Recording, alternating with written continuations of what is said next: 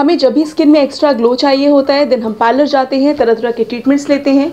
कम time में glow पाने के लिए bleach is the best option parlour में ब्लीच कराना कॉस्टली होने के साथ साथ काफ़ी टाइम कंज्यूमिंग भी है। आजकल की भागदौड़ भरी लाइफ में हर किसी का शेड्यूल काफ़ी बिज़ी हो गया और पार्लर जाने का टाइम कम ही मिल पाता है। तो क्यों ना हम घर पे ही ब्लीच करें, जिससे हमारा टाइम और पैसे दोनों बचेंगे एंड रिजल्ट्स बिल्कुल पार्लर लाइक होंगे। आज की वीडियो में मैं बताने वाली हूँ कि सिर्फ़ 15 मिनटों में आप अपने फेशियल हेयर को कैसे ब्लीच कर सकते हैं। So if you are interested then please keep on watching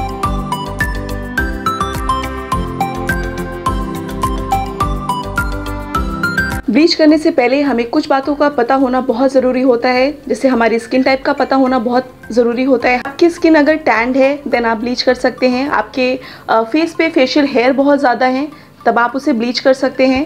या फिर आपको पैचेस बहुत हैं डार्क पैचेस हैं स्किन पे, या अनइवन स्किन टोन है, तब आप ब्लीच कर सकते हैं। ब्लीच आपको कब नहीं करना है? अगर आपकी स्किन एक्ने प्रोन है देन आपको ब्लीच बिल्कुल भी नहीं करना है, क्योंकि वो आपकी स्किन की कंडीशन को और ख़राब कर देगा।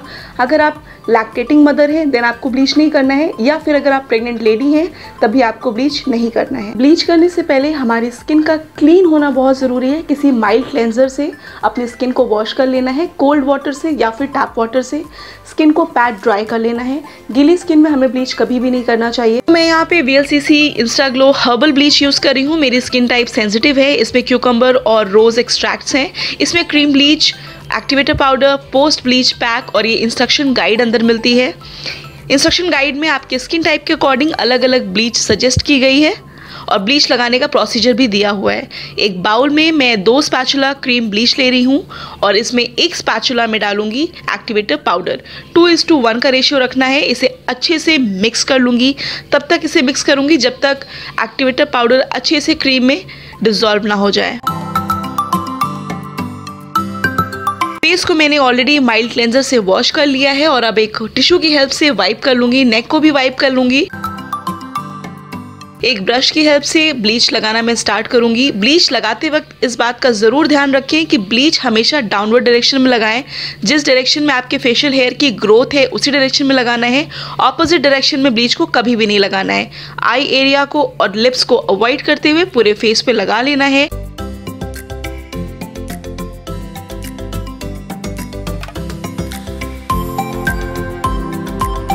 हमारा ईयर और नेक जो एरिया जो है, वो फेस से बिल्कुल मिलता जुलता हो। तो उसको भी मैं ब्लीच कर लूँगी क्योंकि सन एक्सपोजर से ईयर्स भी जो है, वो टैन हो जाते हैं। अब इसे 15 मिनटों के लिए सूखने के लिए छोड़ दूँगी। 15 मिनट से ज़्यादा नहीं छोड़ूँगी। फिर किसी क्लॉथ की हेल्प से पहले वाइप कर लूँगी फेस को, उसके बाद ठंडे पानी से फेस को वॉश कर लूँगी। पोस्ट ब्लीच पैक इसलिए अप्लाई करते हैं, जिससे जो स्किन में इरिटेशन होती है, वो उसे न्यूट्रलाइज कर देता है। साथ ही साथ ब्लीच करने से स्किन सेंसिटिव हो जाती है और जो पोर्स हैं, वो ओपन हो जाते हैं। तो जब हम पैक अप्लाई करते हैं तो वो ओपन पोर्स क्लोज हो जाते हैं। मुझे इसमें ये पोस्ट ब्लीच पैक मिला है, इसको मैं पूरे फेस एंड नेक पर लगा लूँगी। अगर आपकी ब्लीच क्रीम में पोस्ट ब्लीच पैक नहीं दिया है देन आप मुल्तानी मिट्टी और रोज़ वाटर का मिक्सचर अप्लाई कर सकते हैं, या फिर जो चंदन पाउडर होता है, उसे भी गुलाब जल में मिक्स करके आप लगा सकते हैं। कुछ लोगों को एक्सेसिव ड्राई स्किन हो जाती है आफ्टर ब्लीचिंग तो जब ऐसी कोई प्रॉब्लम हो देन एलोवेरा की एक थिन लेयर अप्लाई कर लें, इससे स्किन को ठंडक भी मिलेगी और वो नेचुरली मॉइस्चराइज भी हो जाएगी।